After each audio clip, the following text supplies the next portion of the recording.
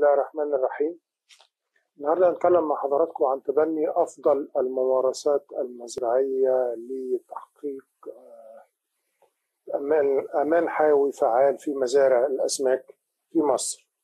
إيه هي أفضل الممارسات المزرعية؟ إيه إيه إزاي نتعرف أو نقول نقول ال definition بتاع أفضل الممارسات المزرعية؟ ليها أكتر من تعريف وأكتر من definition وكل مجموعة من الباحثين لهم وجهة نظر بيفرضوا وجهه نظرهم على التعريف بتاعهم فالتعريف الاولاني بتاع آه، اوزبي سنه 2014 بيقول البي ام بي أو افضل الممارسات المزرعيه reflects the most technological practical technology technology practical and economically visible methods which reduce environmental impact and limit operation cost at aquaculture facility اللي هي تطبيق أفضل الممارسات العملية آه، والتي تكون اقتصادية لتقليل الأثر البيئي لعمليات التشغيل والإنتاج في المزرعه السمكية. في definition تاني آه، موريس لموريس سنة 2019 بيقول ال BMP عبارة عن any program or procedure techniques or method of operation or skills measurements or devices that maximize health and well-being of cultured species, minimize environmental effect and promote the efficient and economical aquaculture operation.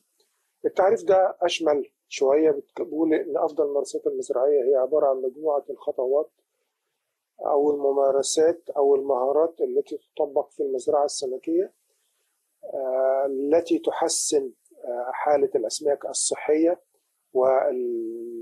والويل بينج والحالة الأسماك عموما. آه، وتقلل الأثر البيئي لعملية الاستزراع السمكي بصورة اقتصادية لمربي الأسماك. أفضل الممارسات المزرعية لما الورلد فيش بدأ يشتغل فيها من سنة 2012 اجتمعنا مع مجموعة من الخبراء في مصر وحددنا إيه هي نقاط أفضل الممارسات المزرعيه اللي يجب أن نتناولها في مصر عندما نتحدث عن أفضل ممارسات الاستزراع السمكي. وتحددت في 10 نقاط هنستعرضهم مع حضراتكم سريعا. اختيار الموقع وتصميم الأحواض إعداد الحوض الحاجة الثالثه استزراع الأسماك في الحوض الحاجة الرابعة التسميد والتغذية وعينات الأسماك الممارسة الخامسة إدارة المياه في المزرعة السمكية الرعاية الصحية للأسماك اللي بعد كده الحصاد ومعاملات ما بعد الحصاد التسويق السجلات المزرعية وتسجيل البيانات وبعدين ال social responsibility الاهتمام بالعامل البشري اللي بيعمل في المزرعة أو المنطقة المحيطة بالمزرعة. طبعا عشان ال limitation في ال time هنتكلم على أهم الحاجات اللي تتماشى مع موضوع آه، حلقة اليوم أو مناقشات اليوم وفي نفس الوقت هي أهم الحاجات اللي بتأثر على المزرعة بصورة تشغيل المزرعة بصورة. أول حاجة اختيار الموقع. لما باجي اختار الموقع إيه أفضل ممارسات لاختيار الموقع؟ أول أول شيء أفكر فيه وأنا بختار الموقع الموقع ده قانونية النشاط في هذا المكان. لأن ممكن يكون موقع رائع وممتاز وفي مية وفي تربة وفي عمالة فنية وفي كل حاجة لكن ما فيش وضع قانوني يسمح لي بالاستمرار بالنشاط وبالتالي معرض للاستثمارات بتاعتي تفقد آه، مخاطر فقد الاستثمارات بتاعتي في أي لحظة زمنية. اللي بعد كده طب أنا خلاص اخترت الموقع والموقع أو الموقع الوضع القانوني يسمح بالنشاط فيه. بعد كده نبدأ نبص في شوية حاجات اللي هي مناسبة الموقع للاستزراع السمكي. من حيث التربة في حالة الاستزراع الأحواض التربية وده نظام السائد في مصر. إيه مدى تناسب التربة لإنشاء الجسور وإن هي تحتفظ بالمياه؟ مثلا التربة الرملية لا تصلح للاحواض الترابيه أو التربة اللي فيها نسبة الرمل عالية لأن ما تحتفظش بالمياه. وكل ما كانت التربة سمراء أو طينية طمية بتكون أفضل في الاحتفاظ بالماء وتكون قوة الجسور بتاعتها قوية وتتحمل عمليات النحر وتآكل الجسور. بعد التربة خلاص أنا عرفت إن التربة تتناسب. بعديها بيكون توفر المياه من حيث المياه من حيث الكم ومن حيث الكيف على مدار العام. المياه ممكن تكون كويسة لكن توفر فترة زمنية محددة ما تكونش متوفرة في بقية الموسم فدي ممكن تكون محدد للنشاط بتاعي. النقطة اللي بعديها مدى اقتراب المزرعة بتاعتي أو مدى قربها من الأسواق. الأماكن اللي هسوق فيها المنتج بتاعي أسوق المنتج ده مثلا في البورصة المزرعة قريبة من البورصة ولا لأ؟ أسوق أصدر المنتج بتاعي بره. المزرعة قريبة من منافس التسويق والتصدير ولا لأ. شبكة الطرق. مدى توفر شبكة الطرق والكهرباء في في الموقع. دلوقتي الاستزراع الحديث بيعتمد على إن أنا بورد اعلاف للمزرعة بسوي الأسماك. محتاج المنتج بتاعي يوصل يصل للاسواق هو بحيوية عالية أو أو ممكن يكون حي أو أو آه لو حطيت فيه تلج يقدر يوصل الاسواق بسرعة. اللي بجيب زريعه لازم توصل المزرعة بتاعتي بطريقة سهلة. كل ما كان الطريق سلس كل ما كان أفضل وبتوفر عليا في عمليات التكليف في تكاليف النقل.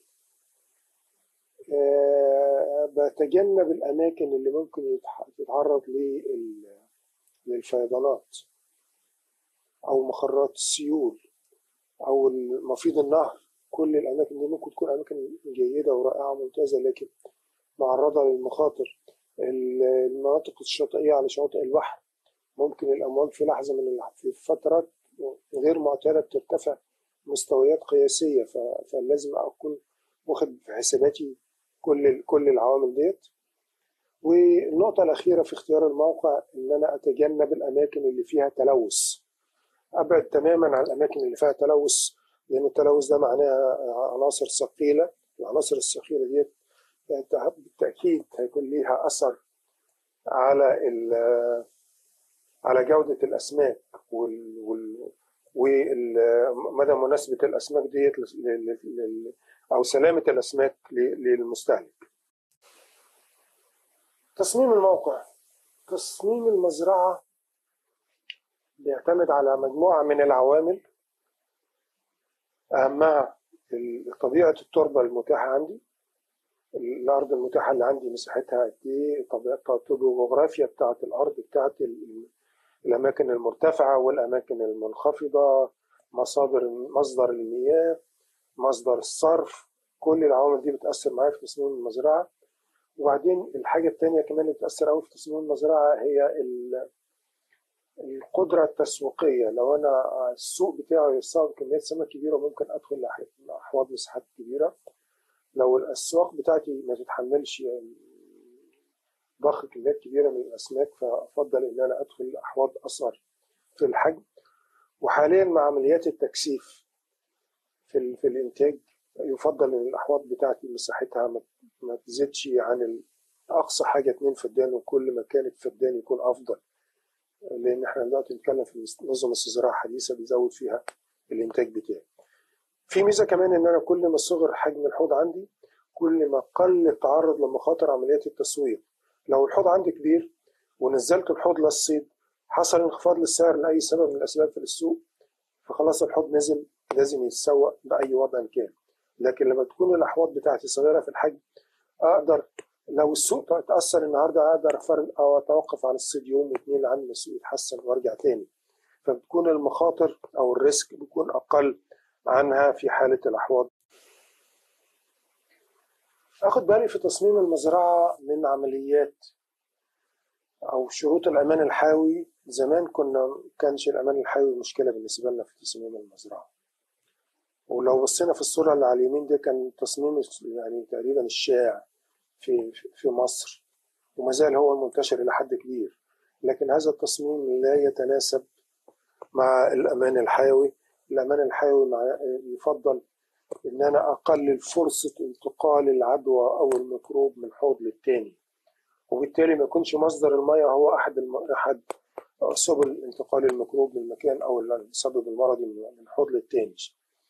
وبالتالي مجرى المياه يفضل أن يكون أعلى من سطح الحوض. ويكون متبطن خرسانة أو بلاستيك أيا كان. وأقدر أسيطر فيه بحيث إن ال vector أو الميكروب ما ينتقلش معايا من حوض للتاني.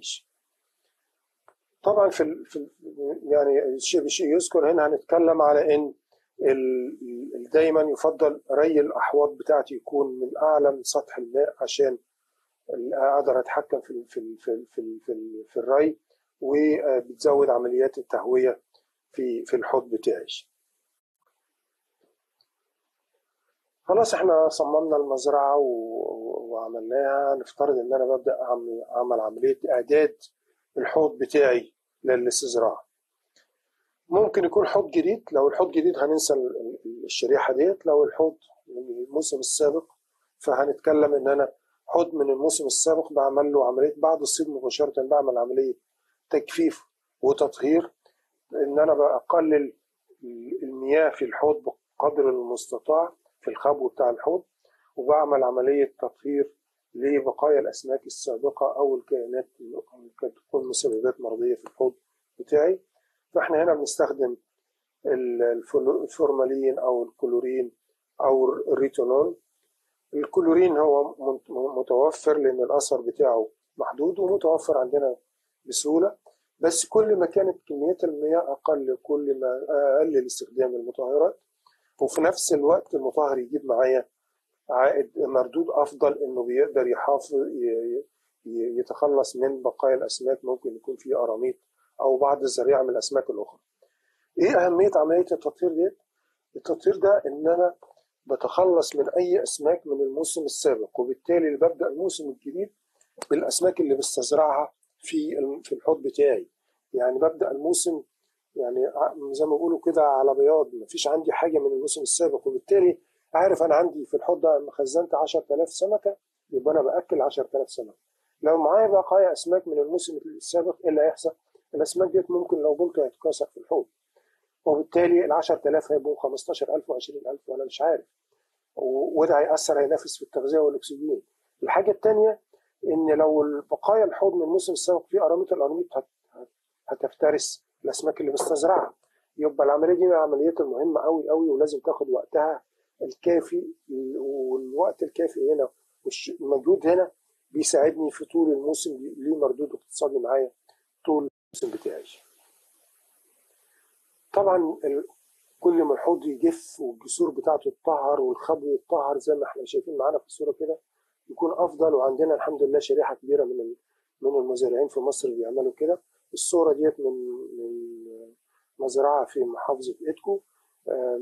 ناس يعني بصراحة ما شاء الله عاملين شغل محترف وعالي من يطهر الخبوء ويعمل دمك للجسر ويظبط الحوض بتاعه.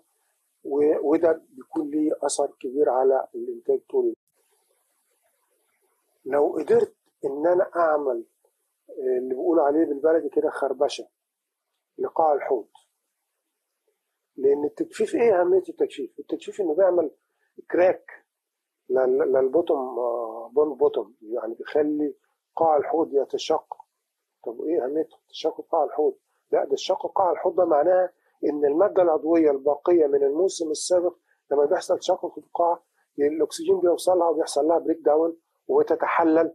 وبالتالي المادة العضوية ما بتكونش مصدر آه لتدهور المياه في الحوض في الموسم الجديد. يبقى أنا بدأت الموسم ما عنديش بقايا مادة عضوية من الموسم السابق اللي هي ممكن تأثر معايا في جودة المياه. وكل ما بقدر أعمل الخربشة أو الحرث الخفيف لقاع الحوض كل ما بيكون أفضل لأن ده بيخلي قاع الحوض أو يتعرض للشمس وبالتالي تخلص من أي مسببات مرضية وفي نفس الوقت بيعمل breakdown بالكامل لل organic matter اللي عندي وبحسن خواص التربة فليها فوائد جامة على عملية الاستزراع. خلصت أعداد الحوض وقاع الحوض وجهزنا. بنبدأ بقى إن إحنا نحط السرندات بتاعتنا أو أو غربال أو أو شبك ناعم على فتحات الري والصرف. عشان نمنع دخول الأسماك غريبة من بره الحوض مع مع المياه الري الصورة اللي على الشمال أعلى ده بتبين شكل الشبكة مع نهاية الموسم الاستزراع بيكون فيها كم كبير من الطمي ويعني كل حاجة. فمع كل موسم لازم أغير الشبكة ديت زي الصورة اللي أسفل على الشمال أسفل لازم أغيرها أو على اليمين. كل مكان لازم أغير الشبكة دي مع كل موسم استزراع ويفضل إن الشبكة دي تكون طويلة عشان ما تقفلش بسرعة. وفي نفس الوقت ممكن أجمع الفضلات كل فترة وأتخلص منها بره الحوض لما بتكون الشبكة ال- ال- المعليات داخل ملينا الحوض. ملي الحوض لازم ياخد وقته الكافي. الحوض بيتملي جزءه في فترة وبعد كده أسيب الغذاء الطبيعي ينمو يفضل يكون في عمليات دفع تسميد في الأول أسيب الغذاء الطبيعي- ينمو وبعد أربع خمس أيام لأسبوع أملأ- أكمل ملء الحوض أسيب الحوض بعد الملء الكام عدة أيام عشان يحصل استقرار للوتر لمقاييس جودة المياه وبعدين أبدأ عملية الاستزراع. الاستزراع طبعا الاستزراع دي عملية مهمة أوي أوي من أهم العمليات المزرعية لأن ده زرعة الموسم. كل ما لازم كل أراعي كل شروط الجودة في عملية الاستزراع إن أنا أختار زريعة أو إصبعيات من مصدر جيد من السلالة المطلوبة إن المكان اللي أنا جايبه منه بيطبق إجراءات الأمان الحاوي السمك اللي جاي حالته الصحية كويسة متناسب في الحجم ما خالي من الأمراض خالي من المسببات المرضية. العدد بتاعه المناسب هو المستزرع معايا في الحوض. بعد كده بنشوف ممكن نزرع إصبعيات وممكن نزرع زريعة طبعا يفضل زراعة الإصبعيات عن زراعة الزريعة لأن زراعة الإصبعيات معناها إن أنا بستخدم الحوض بتاعي في فترة النمو ودي بتكون أق- أقصر من إن أنا بستخدم زريعة زريعة الموسم يمتد سبع ثمان شهور و10 شهور. لو اشتغلت بإصبعيات أربع شهور خمس شهور ست شهور ماكسيمم فكل ما أبدأ بإصبعيات كل ما يكون أفضل. كل ما أبدأ بإصبعيات كل ما كان عندي حجم ال- ال- ال- البداية الأسماك متناسبة في الحجم وبوصل الحجم التسويقي بتاعي ب- ب- بسرعة لأن بقى بشتغل بدخل في عمليات التغذية مباشرة. معدل الإعاشة أعلى في حالة الإصبعيات عنها في حالة الزريعة يعني بزرع إصبعيات معدل الفقد بيكون أقل عن ما بزرع زريعة أو اللي هي بيقولوا عليها ال- الهمو. النقطة اللي جاية في أفضل الممارسات المزرعية هي عملية التغذية. وعملية التغذية التغذية بتكلفني حوالي 70% تقريبا من مصاريف التشغيل وبالتالي كل وفر موفره في عملية التغذية كل ده بيكون ليه مردود اقتصادي عندي على المزرعة السمكية. أو على إيرادات المزرعة. وبالتالي مهم أوي إن أنا أ- أراعي كل شروط الجودة وأفضل الممارسات في اختيار الأعلاف في إدارة عملية التغذية ممكن أختار علف كويس ما أقدرش عملية التغذية كويس يبقى خسرت فلوس. فإدارة عم... اختيار العلف ثم إدارة الت... ثم اختيار العلف تخزين العلف إدارة التغذية دول ثلاث عوامل مهمين قوي عشان أقدر أوصل لأفضل ع- عائد من الأعلاف المستخدمة وبالتالي أحقق أفضل إيراد ممكن. إحنا طبعا عندنا في مصر الحمد لله صناعة أعلاف جيدة جدا. صناعة الأعلاف الجيدة دي خلت عندنا أعلاف تتناسب مع جميع أعمار وأحجام الأسماك من من المفرخ لعند أكبر أحجام تسويقية ممكنة وعندنا أعلاف طافية وأعلاف غطسة. ف... فالأعلاف الجيدة أصبحت الحمد لله م- متوفرة في مصر. طيب اللي بعد كده إن أنا آه إزاي أو ال- أختار مصدر الأعلاف الجيد كمزرعة سمكية وأتعامل معاها. آه، مهم إن أنا أخ- أشتري العلف بتاعي من من شركة مباشرة أو من تاجر يعني في في في في ثقة بينه وبينه لأن ممكن يحصل آه، بعض الممارسات اللي مش مظبوطة أو يكون العلف متخزن. فلازم مهم العلف بتاعي يكون من مصدر جيد آه، وفي نفس الوقت بعمل للعلف ده تحاليل دورية كل فترة يطمئن من جودة العلف بتاعي. وبعديها لما بجيب العلف بخزنه في مخازن جيدة التهوية. هي أهمية التهوية التهوية دي بتمنع تكاثر الفطريات على الأعلاف. الفطريات لما تتكسر بتكون مصدر للسموم في الحوض. آه، والعلف طبعا كل ما يكون ما يكونش متخزن لفترات طويلة كل ما يكون أفضل. في المخزن بتاعي يكون ال first in first out العلف اللي جه الأول يستهلك الأول واللي جه الثاني اللاحق يستهلك لاحقا. وبالتالي ما ما ما اجيبش علف واركنه واستخدم العلف اللي بعديه. أو لأن اللي بيتركن فترة طويلة بيتعرض للتخزين ونمو الفطريات الصور ديت من مخازن أعلاف هنلاقي عملية تخزين الأعلاف بعض الناس أو من أفضل الممارسات الجيدة الممارسات المزرعية بتقول إن مخزن العلف ده مهم مهم جدا ولازم أصممه بطريقة جيدة بحيث لا يسمح بدخول الحشرات والقوارض وفي نفس الوقت يكون التهوية بتاعته جيدة. وبالتالي ما يحصلش نمو الفطريات درجة حرارة الاعلاف ما ترتفعش. فمهم قوي إن العلف يكون متخزن كويس في مخزن كويس كل ما كان على طبالي خشبية عشان ما ي... ما يوصل ما ياخدش رطوبة من التربة. ما يكونش بجوار الحائط مباشرة لأن ممكن لو جوار الحائط وحصل أمطار الحائط تجي له رطوبة وبالتالي العلف توصل له رطوبة فيحصل له آه يحصل تصمم فطري. مهم قوي الحتة دي الصورة اللي على الشمال تحت لبعض الناس في المزارع هنا في مصر عندهم مخزن علف بس مخزن غير محبك. الغلق وبالتالي القوارض بتدخل والقوارض لما تدخل ممكن تنقل المسببات المرضية اللي بتروح بدورها للحوض الاستزراع عندي.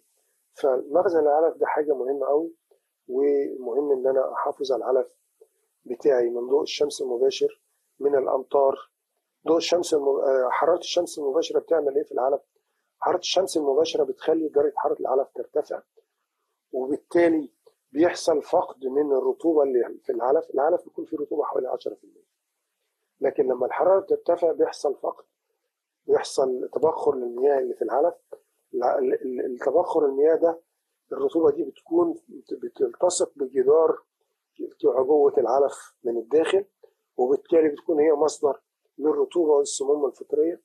فالزملاء اللي بيحطوا العلف على جسر الحوض آه، يا ريت نتجنب ذلك ولو اضطرينا لكده يبقى العلف ده ما يتخزنش أكتر من يومين على جسر الحوض لأن أكتر من كده هيتعرض هتحصل نمو للسموم الفطرية بتاعتنا.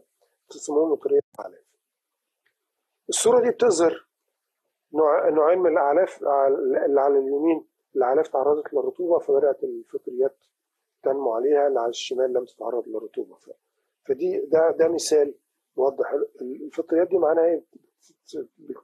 معناها نمو بتفرز توكسينات التوكسينات دي سامة للأسماك وبتلاقي أثر على الكبد بتاع الأسماك وعلى الأحشاء. في بعض الناس لما يغذوا الأسماك بتاعتهم بالعلاف اللي حصل فيها سموم فطرية بتلاقي الأحشاء بتاعتهم بتاعت السمكة متدمرة من الداخل بالكامل.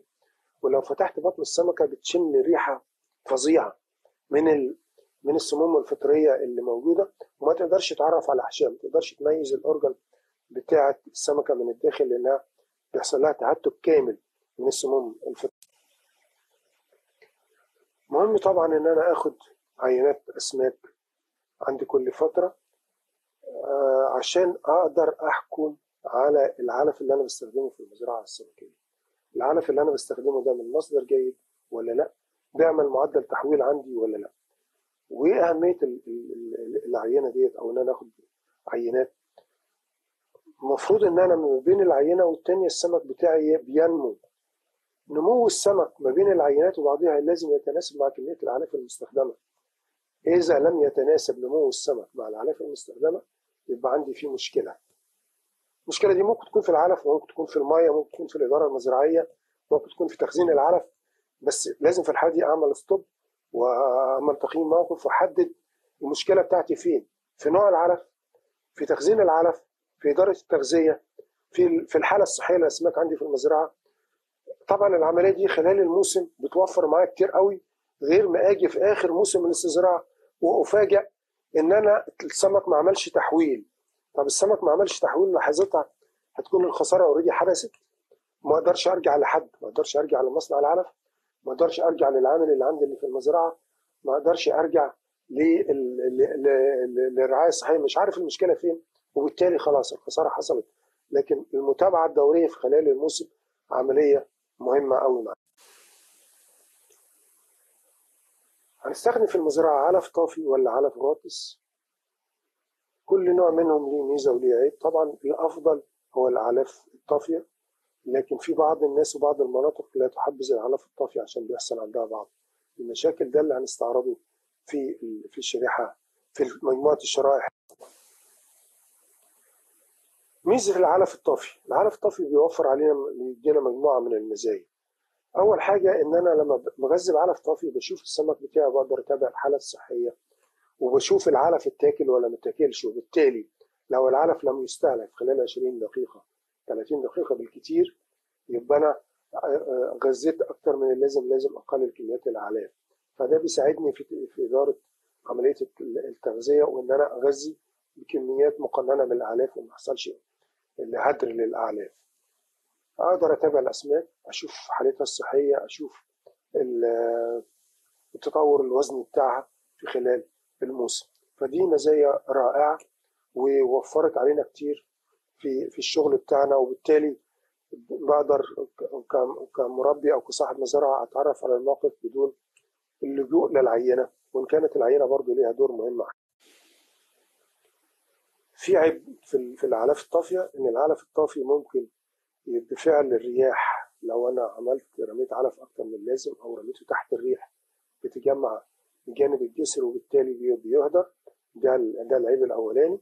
العيب الثاني العلف لما بيكون طافي واترمى من تحت الريح ممكن الطيور والحيوانات الضالة والكائنات المفترسة تنافس الأسماك في تناول الأعلاف بل مش تنافس بس ده ممكن تكون فرصة تفترس الأسماك في هذه اللحظة. وبالتالي مهم ليا إن أنا أتجنب ذلك. وهنشوف في الشرائح القادمة إزاي نتجنب ذلك يا إما أرمي العلف بتوعه من بتاعي من فوق الريح أو إن أنا أستخدم طوق حلقات للتغذية بحيث إن أنا أحجز العلف بتاعي فيها لعند الأسماك ميزة العلف الغاطس بقى إن أتكلم دلوقتي على العلف الغاطس ميزة العلف الغاطس إن الريح ما بيأثرش معاه ما. ما بينجذبش لجوار الحب بفعل الريح ما بتأثرش بالرياح العلف الطافي بتأثر بالرياح الرياح بتجذبه في جنب هنا العلف الغطس ما بتأثرش في الرياح. آه بعض الناس في المناطق الشمالية بيستخدم الأعلاف الغاطسة في بداية الموسم لأن الفترة دي بيكون فيها رياح تيارات هوائية. وفي آخر الموسم لما تكون درجة حرارة منخفضة نسبيا بيكون فيه تيارات هواء وفي وسط الموسم بيقلب لنا العلف الطافي يبقى في المناطق المكشوفة فيها تيارات هواء اللجوء للعلف الغاطس قد يكون أفضل من العلف الطافي. العلف الغطس على فكرة ممكن يكون علف مطبوخ وممكن يكون علف غير مطبوخ. طبعا العلف المطبوخ أفضل لكن إحنا بنتكلم ندي الأوبشن لكل لكل الزملاء. في ميزة تانية كمان في العلف الغاطس إن يعني بعض المربين بيلجأوا ليه أحيانا خصوصا على الأحواض اللي هي مجاورة للجسور أو على حواف المزرعة عشان آه لما بتعلف علف غطس السمك بتاعك ما بيكونش ظاهر للعين المجردة وبالتالي بيكون اللي بيعدي من بره المزرعة مش شايف التطور في السمك والحجم السمك إيه عندك سمك كتير ولا سمك قليل؟ فدي بتكون ميزة والبعض الناس بيفضلها عن الأسماك. لكن في في عيب طبعا للعلف الغاطس. العلف الغطس العيب الأولاني بتاعه إن أنا ما أقدرش أتحكم أو أتعرف على تناول كمية العلف المستهلكة عندي في المزرعة. وده طبعا ممكن يحصل فقد مادي كبير قوي. فبعتمد على إن العامل ينزل الحوض ويشوف العلف استهلكت ولا لأ. فعشان كده بنستخدم بعض الناس بيستخدموا اللي هي زي تري أو أو إطار يعلق تحت سطح الماء ب 30 سم تقريبا بيكون عليه شبك أو أي حاجة تسمح ان إن العلف تحجز العلف فوق الإطار زي ما ظهر عندنا في الصورة. العلف بتاعي لما بيستهلك آه خلاص أنا آه العامل بسهولة يقدر يشوفه لأنه قريب من سطح المية. ان لم يستهلك العلف بقلله في المرة اللي جاية. العلف لو لم يستهلك بيبقى في في المكان ده للمرات. القادمة الاسماك تناول المره القادمة لأنه بدونها العلف هينزل في قاع الحوض هيدخل ممكن يحصل له ميكسنج مع طمي اللي في قاع الحوض وبالتالي صعب تناوله وبيحصل هدر في طيب عملية التغذية أنا بغذي إزاي؟ أشهر طريقة عندنا في مصر آه، اللي هي النسر على سطح الحوض والنسر على سطح الحوض ممكن يكون يدوي بالعمالة ممكن يكون بعربية كر ممكن يكون بعربية ربع نقل ممكن يكون بجرار. كل الطرق دي هي هي الشائعة موجودة عندنا.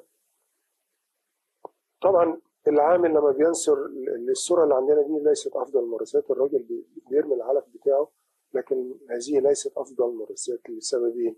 السبب الأولاني إن ده بيجور الجسم مباشرة وبالتالي إن لم يستهلك العلف فبيعرض للهدر ثانيا المكان ده تحت الريح وبالتالي العلف المتبقى يفضل في مكانه.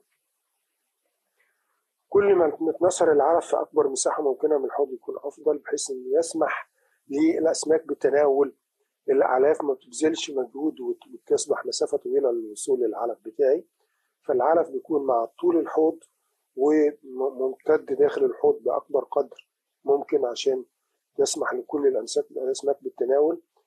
كل ما بقى بعمل توزيع للعلف بتاعي على سطح الحوض أو بأكبر مساحة في الحوض كل ما كان أفضل بحيث إن أنا أسمح للأسماك كلها بتناول الأعلاف في نفس الوجبة في وقت متقارب وبالتالي بيكون ساعة الحصاد السمك بتاعي متقارب في الحجم. لو بعض الأسماك هي اللي تناولت التاني الأسماك التانية بتكون أصغر منها وبالتالي بيحصل تفاوت في الأحجام وبالتالي عندي التسويق بيكون عندي أسماك درجات مختلفة. لكن لما بسمح أو بخلي العلف يوصل لأكبر مساحة ممكنة ده معناها إن أنا حجم التسويق بتاعي بيكون متناسق بقدر المستطاع. عشان أتجنب عملية النسر ممكن إن أنا أستخدم إطار أو طوق معلق على سطح المياه في العلاف الطافية عشان أعلف فيها وبالتالي أقدر أتجنب هدر في العلاف بتاعتي. طبعا الشراحة السابقة اتكلمنا على ناس بتعلف لكن لاحظنا إن ما فهمش يعني كله بيعلف وعملية التسجيل مش واضحة. وعملية تسجيل كميات العلاف عملية مهمة قوي قوي في خصوصا مع تكثيف الإنتاج وارتفاع قيمة العلاف المهم إن أنا أعرف علفت قد إيه في الحوض ده على وبالتالي لا يفضل إن أنا أستخدم الأوتوماتيك فيدر أو أجهزة التغذية على محملة على سيارات عشان أقدر أسجل كميات الاعلاف اللي داخلة اللي في كل حوض بتاعي. طبعا الأجهزة دي بتوزع العلف على أكبر مساحة ممكنة في الحوض. وبنقدر نسجل كميات الأعلاف اللي تناولها كل حوض على مدار اليوم بتاعي وبالتالي آه، أقدر أحكم كل وحدة إنتاجية منفصلة أصبحت كل وحدة إنتاجية منفصلة عندي وأقدر أقيم الشغل فيها. طبعا عندنا الدوماند فيدر أحد الوسائل الجيدة وبتحكم في في عملية التغذية بتحكم في هدر في هدر الأعلاف. ميزتها إن أنا بحط العلف فيها وبقدر على مدار اليوم أشوف العلف بتاع السالة قد إيه. ممكن مرة أو مرتين في اليوم الراجل يتابع العلفات ويشوف الأكل بتاكل ما تاكلش عايزه علف ولا لأ. طبعا دي دي كويسة قوي بتنزل العلف حسب طلب السمك. السمك بتضرب البندول بتاع العلافة بينزل لها العلف. هي بس عيبها إن هي محتاجة صيانة دورية لأن ممكن لو ال ال ال ال الوصلة بتاعت البندول لو سايبة شوية العلف هينزل كله مرة واحدة. فدي بس محتاجة مراقبة لكن هي من الطرق جيدة لإدارة التغذية وتكلفتها إدارة عملية التغذية في في الحوض بتاعي بتعتمد على عدد من العوامل حجم السمك جودة المية الحالة الصحية للأسماك أسعار الأعلاف ومدى توفرها. الحجم أو السوق المستهدف والأسعار بتاعتي في السوق ووقت التسويق وبعد كده وقت عملية الحصاد. ففي حالة حجم الأسماك الأسماك الكبيرة عايزة أعلاف كبيرة في الحجم الأسماك الصغيرة عايزة أعلاف أقل منها في الحجم. الأسماك الصغيرة عايزة أعلاف أصغر في الحجم ونسب البروتين بتاعتها مرتفعة عن الأسماك الكبيرة. الأسماك الكبيرة عايزة علف أكبر في الحجم ونسب البروتين بتاعته أقل. معدلات التغذية بتختلف في الأسماك الكبيرة عنها في الأسماك الصغيرة. آه، في الأسماك الصغيرة ممكن توصل 10% في أول نصف زراعة. تنتهي معايا ل 2% ويمكن أقل من كده في نهاية الموسم. فدي كله عوامل بتأثر مرتبطة بحجم الأسماك. جودة المياه. جودة المياه مستوى الأكسجين والأمونيا في المية طبعا يفضل إن أنا ما أعلفش غير لما يكون مستوى الأكسجين بتاعي في المية تلات أرباع مستوى التشبع تقريبا. لو عندنا مستوى التشبع في مصر في مزارعنا حوالي 8 يبقى أنا عايز مستوى أكسجين خمسة. يعني لو نزلنا مجازا لأربعة معقول لكن أقل من كده يفضل تجنب العلف أو تأخير العلف لأن بتحسن مستوى الأكسجين. وبالتالي إن أنا المفضل إن أنا ما أعرفش في الصباح الباكر عند مستوى الأكسجين بتاعي يعلى ارتفع بعد ظهور الشمس وعمليات التمثيل الضوئي لأن التمثيل الضوئي هو المصدر الرئيسي للاكسجين عندي في المزرعة السمكية.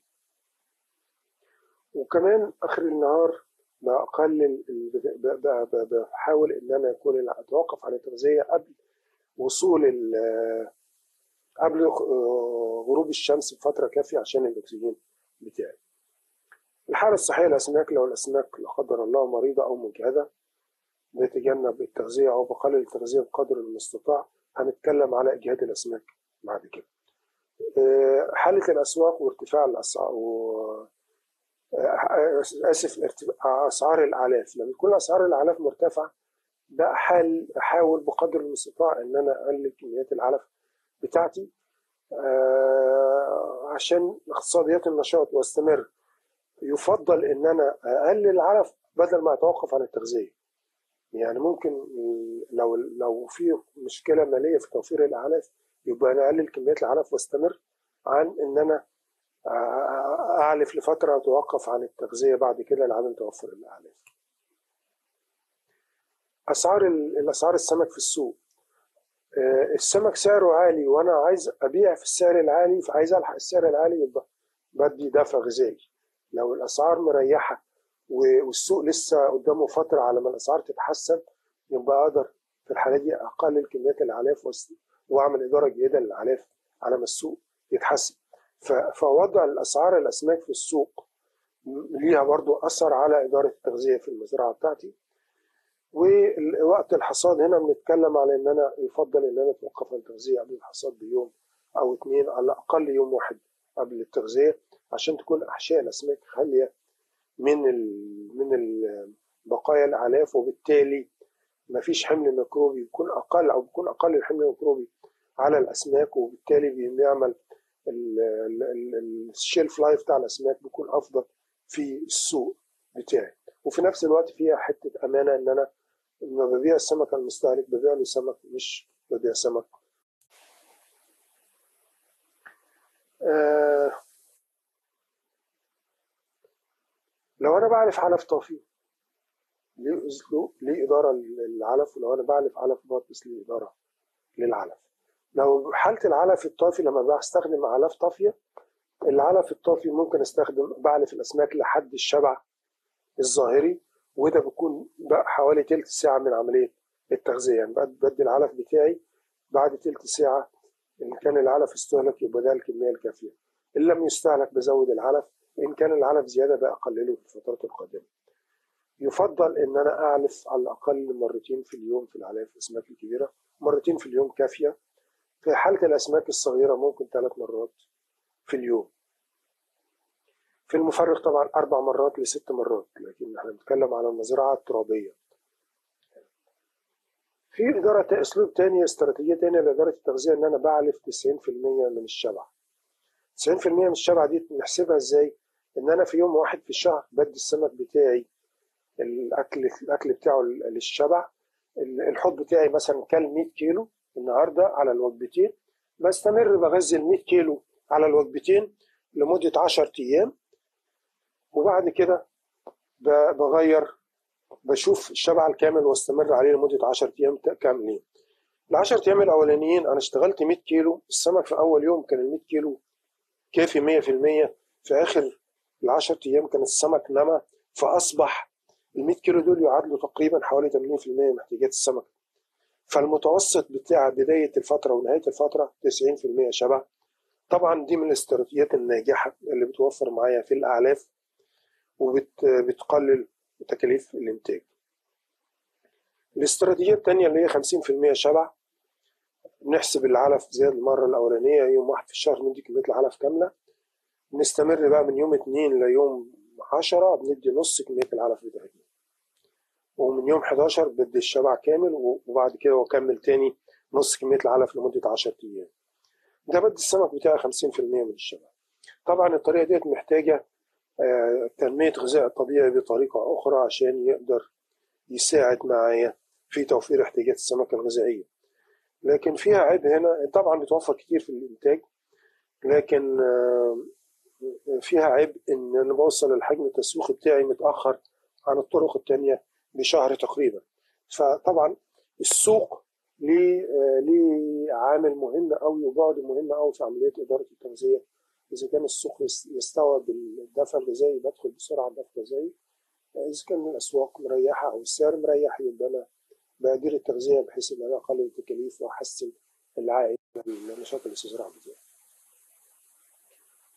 لو أنا بعلف علف غاطس العلف الغاطس محتاج إدارة بنوع تاني. إن أنا في العلف الغاطس بستخدم التغذية بنسب من الوزن الحي اللي عندي. إحنا لو نفتكر إحنا في من من من, شفنا شرايح شريحة بتستعرض عينات الأسماك. ففي عينات الأسماك بقدر متوسط الوزن اللي عندي بضربه في عدد السمك بيديني الكتلة الحية اللي في الحوض. وبدي نسبة من الكتلة الحية. نبدأ في أول الموسم 10% ويمكن أقل 7% 9% في آخر الموسم بنتهي تقريبا حوالي 2% عندي؟ وطبعا بدي كمية التغذية بتاعتي دي على مرتين في في اليوم. ده بيوفر معايا في عملية مش بيوفر معايا ده ده ده الطريقة الشائعة في التغذية و... ولاقي الناس دايما بيقول لك أنا بعلف 3% بعلف 5% فده أسلوب شائع. في شركات الأعلاف عشان تساعد المربين عملت جداول تغذيه إن مع السمكة بتاعتك لما بيكون وزنها كام تدي كمية علف كام في اليوم. وقطر العلفه كام يعني قطر العلف بتاعتك كام. فنلاقي العلاف بتبدأ من من واحد ونص ملي من علف متكسر لواحد ونص ملي لاتنين ملي لعند خمسة وستة ملي فكل ما السمكة بتنمو في الحجم كل ما بزود ممكن يزيد معايا قطر الأعلاف بتاعتي.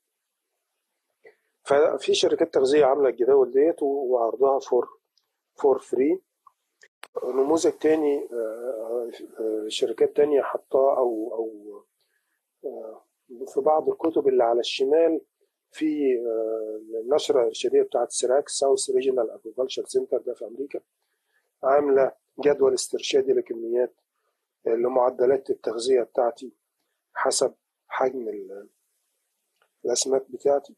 واللي على اليمين الجدول على اليمين ده بتاع هيفر بريجنان الكتاب اللي منشور سنة 82 بس في حتة عندنا مهمة ناخد بالنا منها إن جداول التغذية دي معمولة محسوبة جوه المعمل في ما فيش غذاء طبيعي مساعد وبالتالي جداول التغذية دي يعني ممكن تخليني أدي كميات علف أكثر من احتياجات السمكة عندي وفي الحوض وبالتالي بيكون العائد الاقتصادي أقل. دي أول حاجة. تاني حاجة جداول التغذية بت أحيان كتير قوي جدول التغذية بيتكلم على على درجة حرارة المثلى ويسيب ممكن المربي أو القارئ ما ياخدش باله إن درجة حرارة النهارده مش هي درجة حرارة المثلى وبالتالي لازم اقلل كميات العلف بتاعتي. فجدول التغذية بيتكلم على حراره مثلى جوده مياه مثلى فلازم نقول للمربي خد بالك من العوامل ديت عشان تقدر تستفيد من جداول التربيه بتاعتك بطريقة اقتصادية. آه، لأن جدول التغذية جدول بعض الجداول لو مشيت عليها هتلاقي نفسك في آخر السنة طالع معدل تحويل 2 ونص وأنت ماشي تبع الجدول وممكن تزيد كمان. فناخد بالنا إن الجداول ديت محسوبة على اولا محسوبة في معمل مفيش غذاء طبيعي.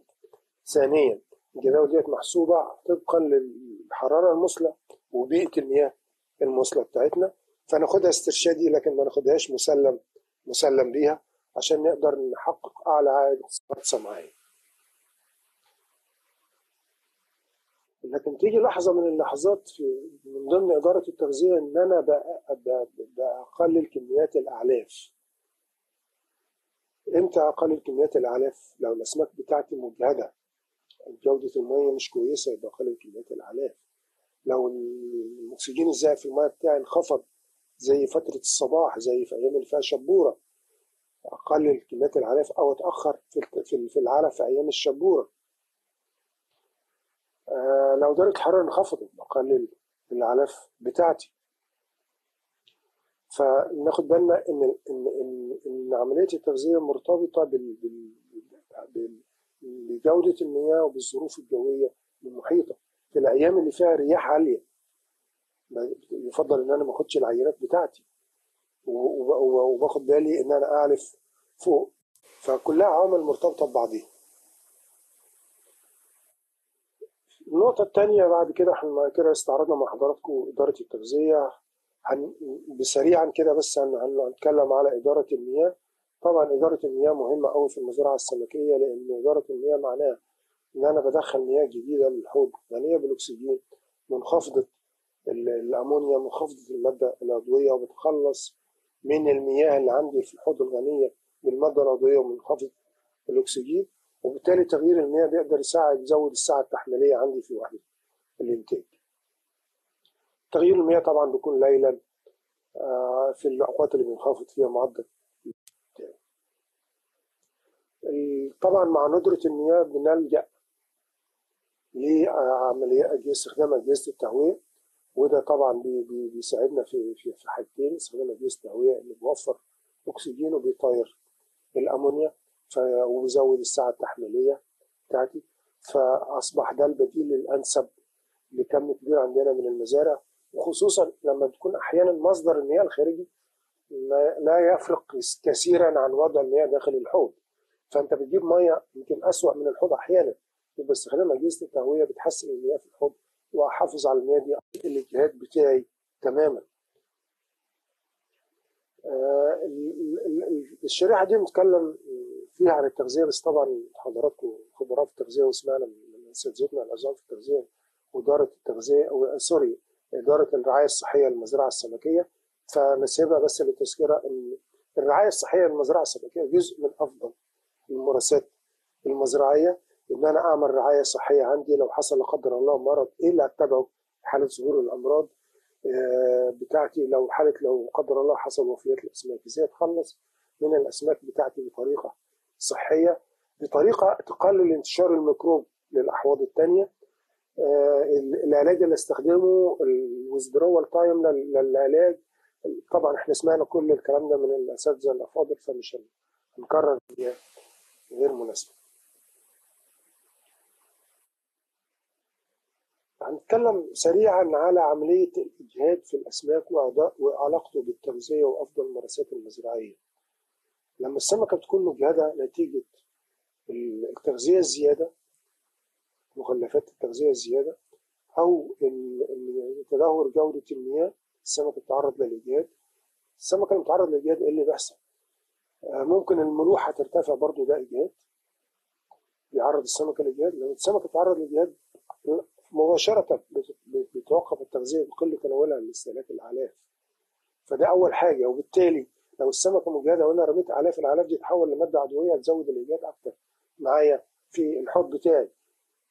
السمكة المجهدة بتستهلك كميات علف أقل وبالتالي لازم أقلل كميات العلف بتاعتي عشان ما أخسرش وإلا بخسر.